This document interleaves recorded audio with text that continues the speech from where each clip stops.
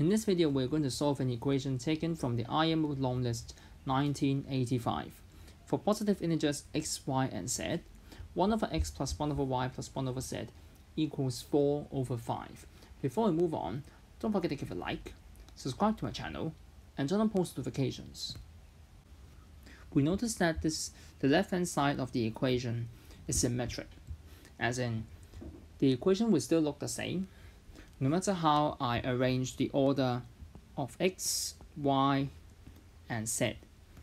So I can just freely assume um, the size in decreasing order so that after solving it, I can just list out all solutions by permuting the numbers. So I can say that by symmetry,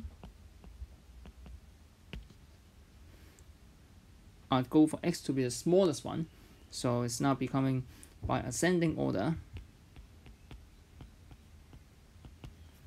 x is the smallest, y is the second smallest, and then z is the largest number. Then if we take the reciprocal, then the fractions will then follow in descending order instead. 1 over x is the largest, 1 over z is the smallest then the sum of these three fractions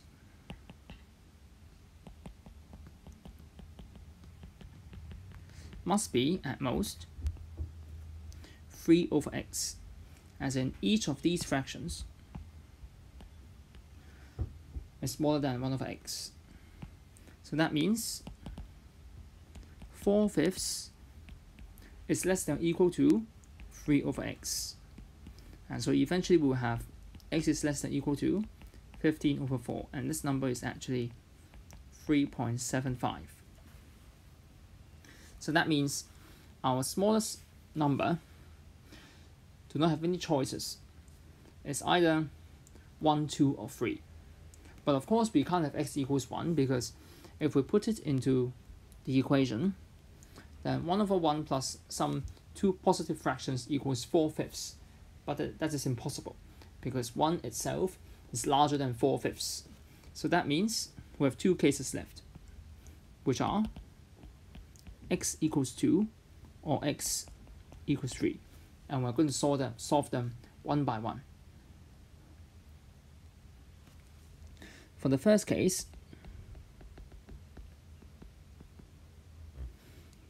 we put it into the, the equation then we'll have 1 over y plus 1 over z equals 3 over 10. We can put the fractions and left together and cross multiply. So we have 3yz equals 10y plus 10z.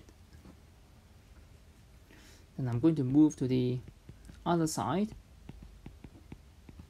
and I'm going to factorize it to make it factorizable and the coefficients of y and z are equal, so to follow the symmetry, I'm going to multiply both equations by 3.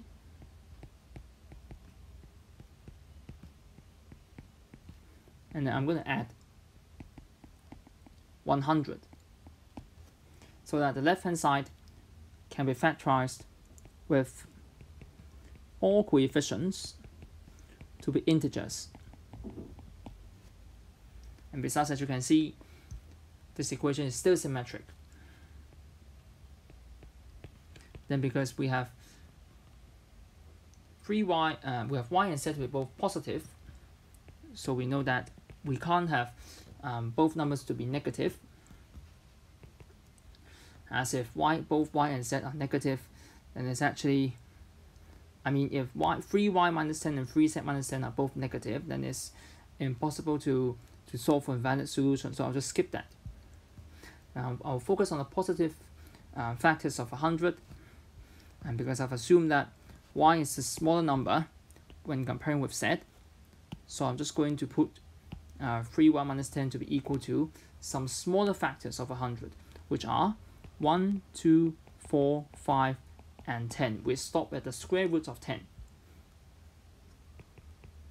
While for the solutions for z, it can be 3 z minus 10 can be uh, 100, 50, 25, 20, and 10, corresponding to uh, the factors above, so that their product will be 100. Then solving, you'll realize that only these two numbers for y will give a valid solutions, which means y is an integer. So solving y equals 4 and then or y equals 5. For y equals 4, which is uh, 3 z minus 10 equals 50, we have z equals 20. While for y equals 5, then 3 z minus 10 is 20, so that z equals 10. So now we have two sets of solutions, excluding the permutations. So that's the first case. Now move on to the second case, which is similar to what we have been doing when x equals 2.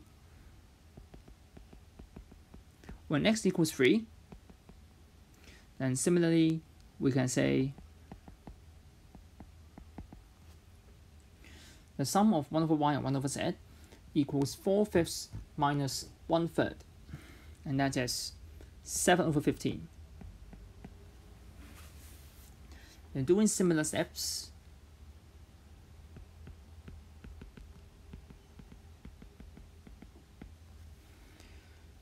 and moving things to one side,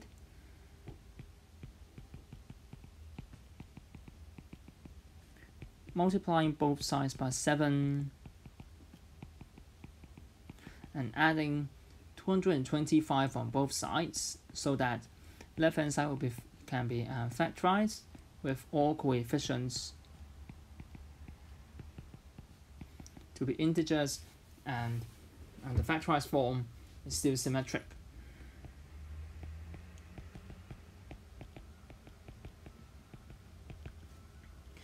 Now again, as we have assumed that y is a small number, so we can take smaller factors for of 225 for 7y minus 15, which is Uh, which are 1, 3, 5, 9, and 15. And we can write corresponding solutions for 7 z minus 15. But in fact, if you check one by one, you'll realize that there is no solution.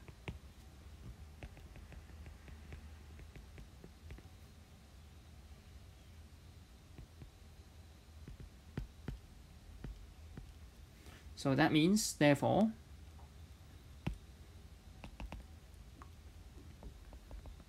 our final solutions are just two pairs, 2, 4, 20, 2, 5, 10, of course, with its and its permutations, I would say, and its permutations.